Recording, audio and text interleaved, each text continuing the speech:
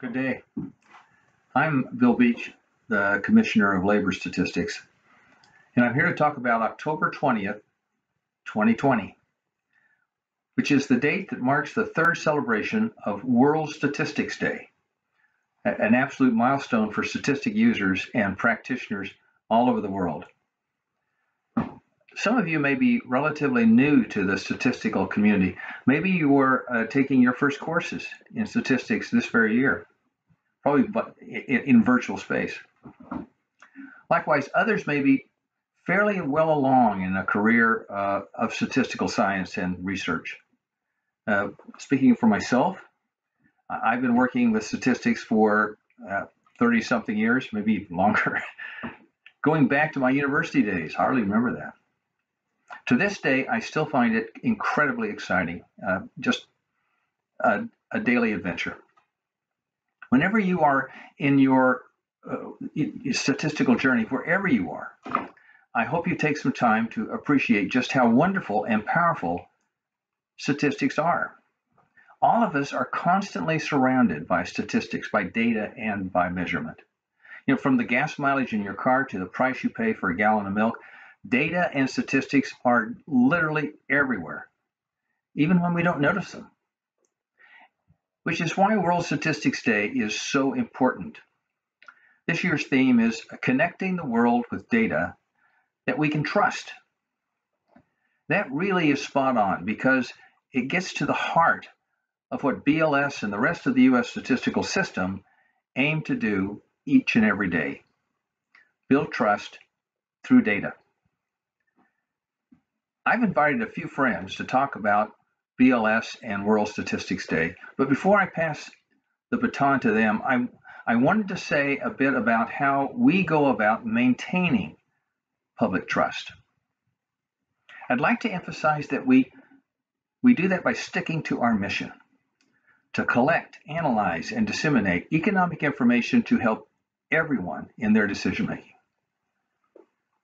We're able to execute that mission because we are nonpartisan and not political.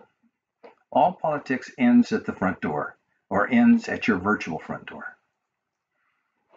And we foster a spirit of innovation. We're constantly looking for ways to improve everything from data collection methods to estimation techniques.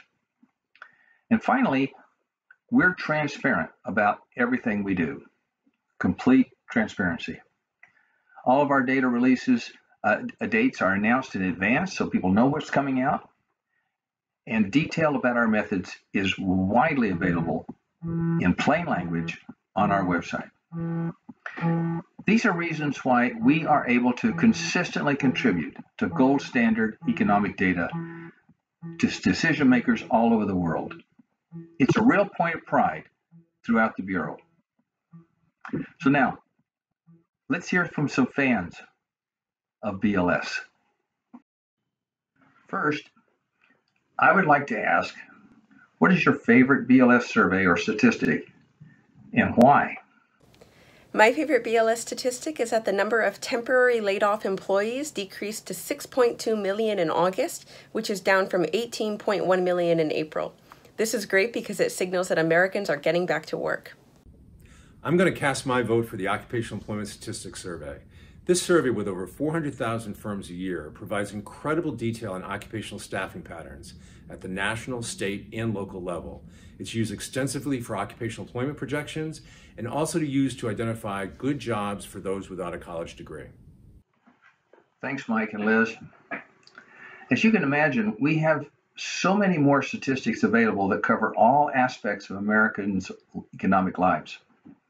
Now, how does the public benefit from national statistics such as those produced at BLS? National statistics like those produced by the Bureau of Labor Statistics are an indispensable way for the public to understand about the nation and the economy. Producing objective, fact-based data and statistics is the best way to create effective policies that can help people and communities. National statistical agencies around the world generate data to inform decision makers from financial districts to lawmakers to our homes. Without government data collection and analysis, we would not have key insights into public health, economic trends, community issues, public safety, the environment, or countless other areas that are so important in our world. That's right, John and Wendy. Uh, helping decision makers across the country, whether they are in the U.S. Capitol or our own homes, is really a key component of our mission. Uh, I'm also curious, uh, what do you consider to be the most impressive statistical innovation since the last World Statistics Day in 2015?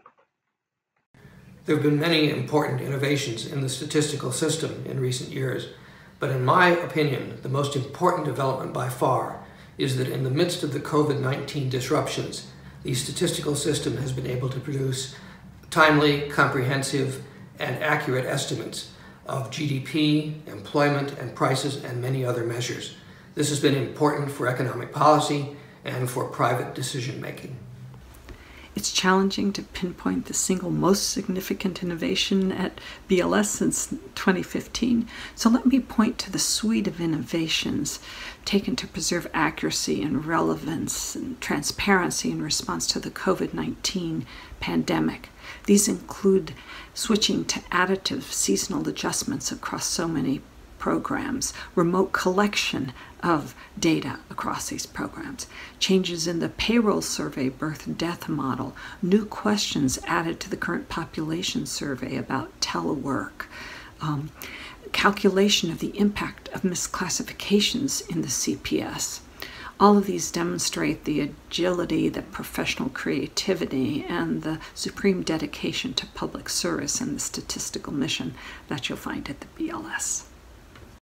Thanks, Erica, Richard, and all the BLS supporters who contributed to this celebration of World Statistics Day 2020. They are just a handful of the many people who use our statistics all the time. Okay, so let me conclude by bragging just a bit about the great work of the BLS staff during these unusual times.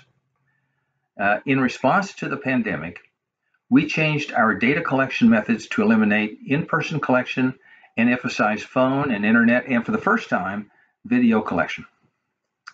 We adjusted the methodology to uh, that we use to account for rapid and rec- absolutely record-breaking changes in the labor market, and we've seen things that no one's ever seen before. Unbelievable. And we're beginning to invest in high-frequency data so that in times of national importance, like those we've just that we're in, we can provide people with as much information as possible. So Keep an eye out for even more innovation from the Bureau of Labor Statistics. And with that, happy World Statistics Day, which on average occurs every five years. Go BLS.